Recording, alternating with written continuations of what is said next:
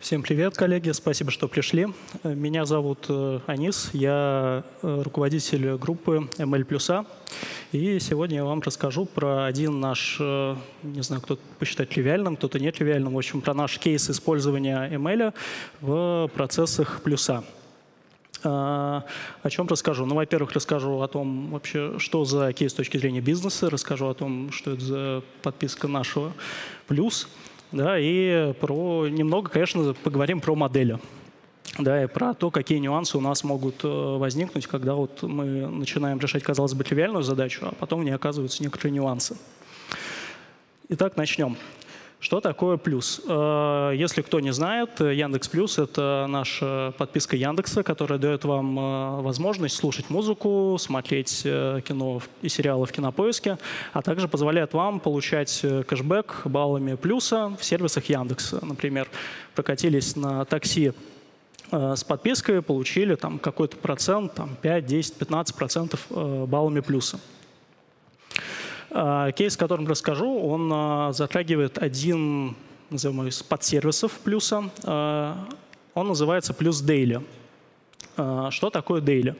Ну, для подписчика Daily — это такой сервис, который позволяет получать некоторые промокоды за задания. Например, ты выполнил задание, послушай 10 треков музыки или там воспользуйся э, моей волной в Яндекс Музыке или там соверши три заказа в Яндекс Еде. И за это мы тебе дадим доступ к так называемому бандлу, подарочку, в котором можно будет выбрать промокод. А зачем это, собственно говоря, Яндексу? А потому что если вы взяли как пользователь этот промокод и использовали его, вы стали новым пользователем какого-то из сервисов. Например, сервис, э, стали пользоваться сервисом еды или сервисом Яндекс, э, сервисом маркета. Да, ну и зачем это нужно Яндексу? Очевидно, потому что привлечение новых пользователей стоит каких-то денег, и мы, получается, через такую механику как раз и привлекаем новых пользователей в наши сервисы. А, тем более, что пользователей мы привлекаем из базы подписчиков плюса, да, которые уже априори являются ну, таким довольно платежеспособными и лояльными. Хорошо, давайте посмотрим на то, а что это вообще за плюс Daily, что он из себя представляет. Ну, как я уже сказал, это такие подарочки, да, которые вы получаете за выполнение заданий. Выполняя задания у вас наполняется шкала квестов, которую вы сейчас можете видеть под э, нашим бандлом. Да, и как только вы э, достигнете этой шкалы, вы сможете открыть вот этот вот бандл и видеть, какие там будут промокоды. В бандле порядка всего лишь 10 промокодов. Ну, порядок такой, то есть их не сотни, там точно не больше 20. Когда вы откроете промокод, вы увидите примерно вот такой интерфейс, в котором вот будет перечень промокодов, который вам доступен. Вот здесь мы, например, видим промокод лавки. Да, мы его даем как раз тем пользователям, которые еще лавкой у нас не пользовались. И если вы возьмете этот промокод и его э, используете, да, что вы для этого должны сделать? Вы должны будете скачать приложение лавки, совершить там покупку э, с этим промокодом, и ура, вы стали пользователем лавки. Вы как пользователь счастливы от того, что вы получили скидку, а мы, как Яндекс, счастливы от того, что мы привели еще одного пользователя в наш сервис. И главный вопрос, а где здесь, собственно говоря, вообще э, место ML? Потому что, ну вот сегодня были доклады про LLM, э, про роботов, в общем, про какой-то state of the art, а здесь, казалось бы, ну даже не про рекомендательные системы, потому что у нас тут всего лишь 10 промокодов, э, казалось бы, что здесь можно сделать? Вот чтобы ответить на этот вопрос, надо пойти не от email, а пойти, что называется, от бизнеса. Давайте сначала определим, а что мы, собственно говоря, оптимизируем оптимизируем очень простую метрику. Ну, давайте назовем ее прибылью. А прибыль у нас это следующее. Это стоимость привлечения пользователей в сервис минус затрат на промокод. То есть, например, если в среднем по рынку нам привлечь пользователей в Яндекс.Маркет стоит 2000 рублей, а промокод у нас э, идет на 500 рублей, вот очевидно наша прибыль, да, если мы привлекли нового пользователя. И давайте посмотрим на то, чем мы можем управлять. То есть это второй вопрос, на который надо ответить, чтобы понять, где здесь ML имеет место быть. Да? То есть первый, что оптимизируем, второй, чем управляем. А управлять мы можем четырьмя рычагами. Но если мы посмотрим на левую картинку, то мы вспомним про ту самую шкалу расстояний, и мы можем разным пользователям выдавать разную шкалу расстояний. То есть мы можем управлять вот этой вот длиной шкалы расстояний. Второе, чем мы можем управлять, это порядком промокодов в бандле, да, старое доброе ранжирование. Понятно, что если мы какие-то промокоды поставим там повыше, наверное, как-то вероятность их взятия, она должна увеличиться. Хотя потому что там на мобильных э, экранах э, первые три промокода будут видны сразу, остальные надо доскроллить. Да? Здесь мы, получается, уже как-то управляем поведением пользователя. Второе, чем мож, э, третье, чем можем управлять, это составом бандла. Например, мы можем какие-то промокоды из доступных просто убрать, да, чтобы как-то увеличить ну, вот, совокупную пользу от бандла, который мы получаем как Яндекс. И последнее, мы можем банально управлять параметрами промокодов. Одному пользователю дадим номинал 400 рублей, другому 600, да, и что-то на этом попытаемся выиграть. А, хорошо, а давайте посмотрим на то, как мы будем управлять порядком промокодов. То есть такой последний уже вопрос до того, как перейти к ML. Э, управлять предлагает следующим образом. Ну, первое, давайте мы поймем, что есть наш реворд. Как говорил, это стоимость привлечения минус затрат на промокод. И таким образом мы можем каждый промокод охарактеризовать как некий реворд для нас, как для Яндекса. А второе, мы э, должны вообще обозначить, а что мы тут выделяем как некоторую вероятность, да, что для нас важно. Для нас важна вероятность применения промокода. То, что ну, тут может сначала пойти в такую косвенную задачу взятия промокода, да, но если пользователь взял промокод, это еще не гарант того, что он его применил. Поэтому мы хотим Э, предсказывать именно применение промокода. Да, ну и последнее, что мы можем сделать, это проранжировать промокоды по весу, реворд умноженный на скор, где скор — это как раз э, вероятность применения промокода. И мы считаем, да, то есть это наш assumption, который мы проверяем, что если мы промокоды отранжируем вот э, в таком порядке, это даст нам какой-то прирост над э, константной бизнес-логикой. Да, причем э, тут важно что? Что вот эта вот вероятность, да, вот этот скор, он для каждого пользователя по каждому промокоду может быть свой. А бизнес-логика, она будет одна общая для всех. И вот как раз на это мы хотим сделать какой-то прирост. И э, второе, как мы управляем, как мы еще управляем? Управляем шкалой расстояний. Да, небольшой спойлер, из четырех рычагов, которыми мы можем управлять, мы пока в продакшн э, внедрили только два. Ну, почему? Потому что вот пока только их мы успели проверить и получить на них какую-то прибыль. Со шкалой расстояний, ну, чуть-чуть посложнее, да, чуть больше пунктов. Здесь точно так же определяем реворд, все то же самое, стоимость привлечения минус затрат на промокод. А, второе, что мы делаем, мы хотим понять, какие промокоды у нас э, прибыльные, потому что на самом деле часть промокодов, которые мы выдаем, они работают для нас в минус.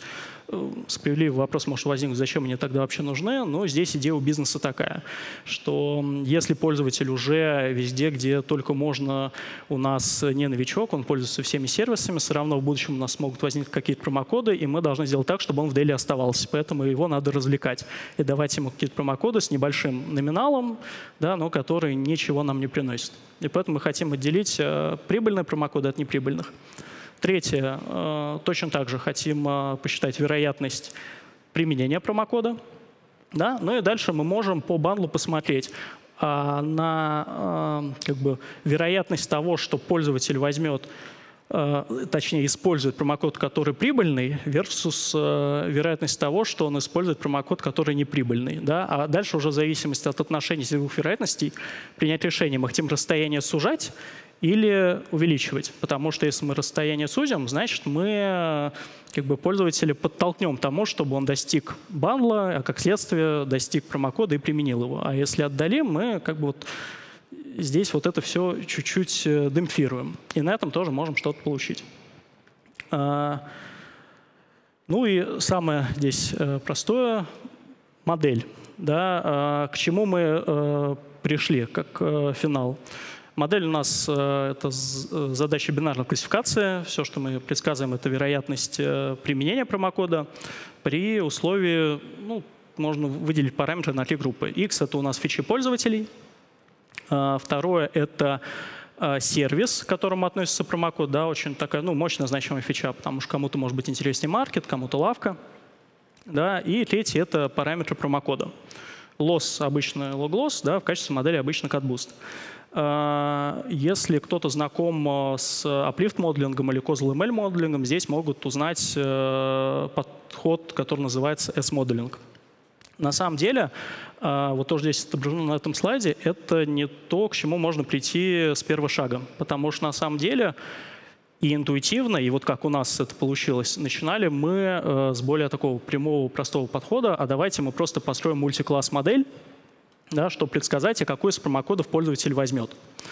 Э, какие проблемы в подходе с мультиклассом? Ну, потому что при появлении любого нового промокода, а мы живем в среде, в которой э, у нас, ну, например, каждый месяц может добавляться новый промокод, нам придется заново переобучать модель. И даже если математика будет расходиться, то мы будем тратить очень много ресурсов на поддержку всего этого да, и переобучение. Ну хорошо, если мы не хотим делать одну монолитную модель на все промокоды, тогда следующая идея, давайте мы сделаем отдельную модель на промокод. Тогда получится, что промокоды, которые уже есть, они каждый из них будет обслуживаться своей моделью, а дойдет новый промокод, мы соберем по нему рандом, обучим новую модельку и сделаем композицию кажется, чуть лучше стало. На самом деле нет, стало еще хуже. Потому что, во-первых, все равно есть проблема того, что появился новый промокод, надо ну, не переобучать всю модель, но дообучать плюс одну. И второе, у нас э, умножается проблема поддержки модели. То есть если в обычном мультиклассе мы обучаем одну модель и поддерживаем одну модель, то в подходе с N-моделями нам надо поддерживать N-моделей. И это еще хуже. И вот э, финальный подход, к которому мы пришли, тот, который на слайде, это единая модель, которая предсказывает вероятность э, применения промокода в зависимости от того, какой этот промокод, какие у него параметры и какие фичи у пользователя. Казалось бы, все просто, да, не про LLM, не про reinforcement learning, но тем не менее, что это принесло бизнесу?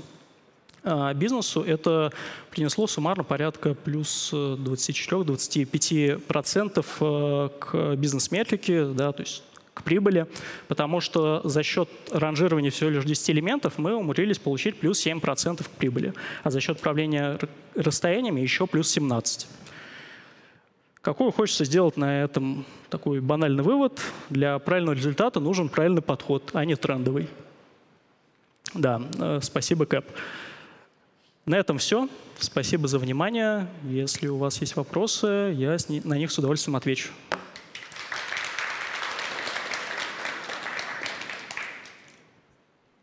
Мы к тебе идем, даже бежим. Друзья, напомню, что вопросы задаем в чат. Э, желательно указывать хэштег «вопрос». А, скажи, пожалуйста, наверное, в чем была одна из э, главных сложностей вообще повернуть так задачу? Вот, потому что кажется, что ну, подход, я не знаю, хочется сказать нетривиальный, но на самом деле, правильно сказать, э, э, давай нетривиальный.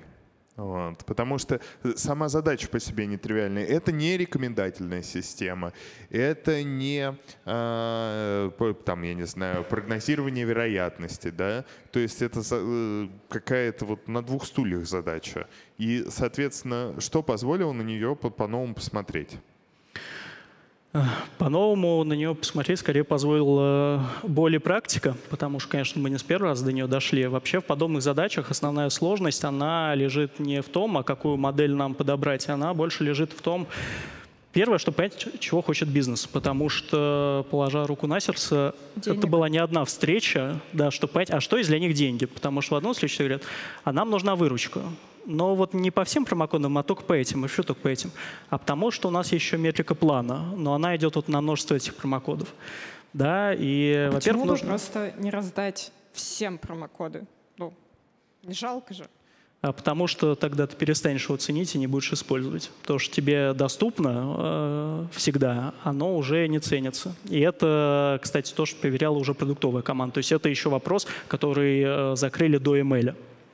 А дальше уже был вопрос, как с помощью ML все это улучшить. Ну, то есть первое — это метрика, а второе — это ну, общая проблема, это а где взять датасет, потому что когда начинаешь приступать к этой задаче, ну, например, сначала оказалось, что мы вообще не имеем э, метки применения промокода, и приходилось вообще решать прокси-задачи на взятие, которая ну, не так хорошо оптимизировала то, что нам нужно. Поэтому здесь основной челлендж, он на самом деле в бизнесе, в сборе датасета — и... Ну, легко сейчас. LLM. Нет. Извините, но нет. Все, Почему? Понял. Почему? Давай. Аргументы какие? Ну, пока не дошел у нас LLM до состояния AGI, чтобы э, решать за нас все творческие бизнес-задачи. Генерацию умеет, а чтобы понять, что же там бизнес хочет с учетом э, всех интересов разных контрагентов, пока нет. Хороший наброс.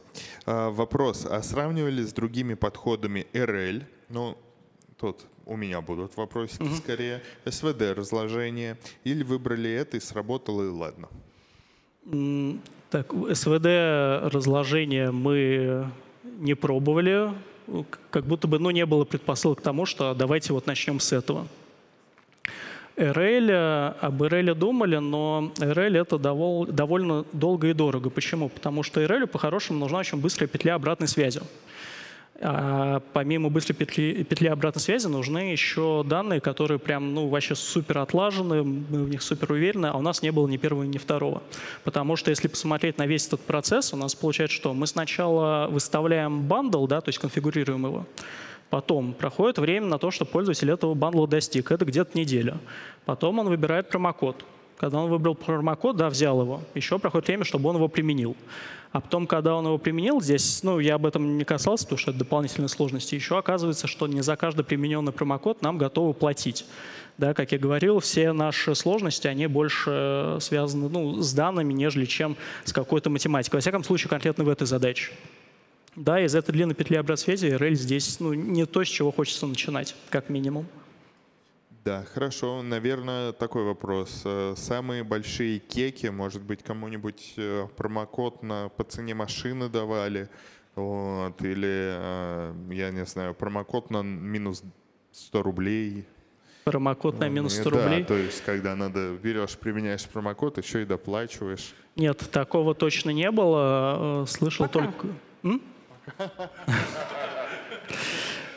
Нет, мы ну, же про практикалы, мы да, все да, может да, быть. Да. Саша ВБ, Яндекс.Го будет стараться это поменять, поэтому пока. Ну, скажем так, кеков, которые следить. связаны именно с email, их э, точно не было. Единственное, о чем я слышал, что вот когда они очень хорошо подготовили текстовку по поводу скидки, например, там вам пишется скидка 50%, цена такая-то, и было не очевидно пользователю, а 50% это идет вот от этой суммы или эта сумма уже э, результат, да, от чего вот взяли 50%? Вдогонку к этому вопросу. Если не про кейсы, тогда, может быть, про фичи? Может быть, были у вас какие-то гипотезы там фичей, и они там ну, вы думали, делали ставку на другие, но вот какие-то внезапные для вас э, прям делают импакт. Было ли что-то такое? Или наоборот, делали ставку э, на какие-то, и они вообще не сработали? Вопрос в чате, пожалуйста. Ну, такого не было. Ну, вот э, кейс, о котором я говорил, что изначально мы верили, что если пользователь взял промокод, наверное, он его применит, ведь это же скидка. Вот, э, то есть мы обучали сначала вообще именно на взятие промокода. Потом казалось, что этот подход абсолютно провальный, потому что там э, вероятности Просто перехода из деливера... маленький. Э, не только, например, номинал промокода маленький, меньше хотят его использовать, даже если его взяли. Или сервис э, такой, что вот в одном сервисе этот промокод легко использовать, а в другом надо сделать в два раза больше шагов, чтобы использовать. Зайти в приложение плюса, скопировать промокод, открыть свое приложение. Да, например, из-за этого уже перекосы идут. Поэтому пришлось э, разбираться с тем, откуда же брать все-таки применение промокода. Ну, вот такие сложности были, да. Да, хороший. Э, тут несколько вопросов в одном. Я их по, буду как это поштучно э, задавать. Например, э, пожалуйста, поясни, э, почему это не задача э, классификации, а вот э, все-таки такая специфичная. Ну, вообще там был назван... А, чем она специфичная? Почему это да. не задача классификации? Ну, она, наверное, специфична тем, что ну, обычно задача классификации — это все-таки вот когда перед тобой объект, который вот, вот они уже по факту есть. Например, э, нейронная сеть, определи мне, кто передо мной, чихуахуа или кексик. Да, это уже что-то вот совершенно. А здесь у нас задача такая, ну, прогнозирование, хотя она тоже решает через задачу бинарной классификации. Да, самый такой известный пример — это модели скоринга в рисках. Да? Но какие особенности у нас есть, которых нет, например, задачи скоринга рисков? А то, что в рисках э, ну, классы, они все известны. Вернул кредит, да, не вернул кредит, вышел дефолт, не вышел. А у нас сложность в том, что с течением времени у нас э, состав промокодов меняется, да, и как нам э, под это обучаться, сколько брать данных, как сделать так, чтобы не надо было руками каждый раз это переобучать. Вот, ну, наверное, интерес в этом. Относительно задачи вот обычной бинарной классификации. Просто всем раздавать. Не работает, мы это уже обсудили. Да, тут вопрос поменялся, но я запомнил, все равно мне нравится в первичном, э, в том числе виде. А, кажется, многое зависит от размера промокода. Вот. От номинала. А? От номинала. От ну, какая скидка? Да, да. То есть размер Явно не в количестве пикселей на экране, это то, точно. А, скажи, пожалуйста, как вот тут э, решается вопрос, кажется, ну чем больше даем, тем лучше? Э, в процессе. Сейчас э, запускают в пилот модельку, которая персонально определяет номинал промокода. Да. Ну, это еще в процессе, в общем, делается. Но глобально, да, априори, чем э, выше номинал, тем выше вероятность того, что возьмешь. Но всем нельзя повышать номинал. Почему? Потому что кто-то готов взять скидку не 500 рублей, а 400. Зачем тогда давать ему 600? Да, хитрецы. А, э, тут опять же блиц такой. Насколько долго остается актуальная моделька? А, только, э, обучать приходится только при смене бизнес-логики или чаще? А, делаете ли автопереобучение? Ну, сейчас мы приближаемся к авто, автопереобучению. Обновление обычно связано в первую очередь не с протуханием фич, а как раз с тем, что новый промокод какой-то доехал. Но это происходит довольно часто. То есть раз в месяц это ну, в среднем еще хорошо. Бывает, вот через две недели еще что-то обновилось. Пробовали ли Causal Inference? А, задача выглядит так, что реально причинно-следственные связи могут дать хороший буст. Прям в точку попали. Э, на самом деле мы пробовали э, Casual Inference, вообще подходы из э, Casual ML, Causal ML. Э, но в других наших направлениях.